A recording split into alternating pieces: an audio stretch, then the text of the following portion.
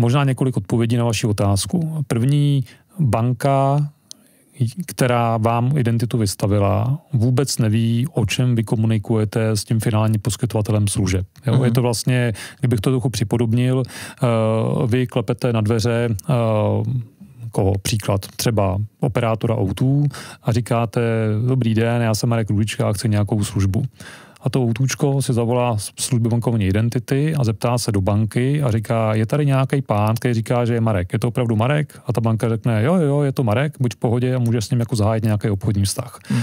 Tím pádem O2 má potvrzenou, ověřenou a stotožněnou moji identitu a může vědět, co mi může nabídnout a na konci dne já s ní vlastně uzavírám nějakou platnou a závaznou obchodní transakci.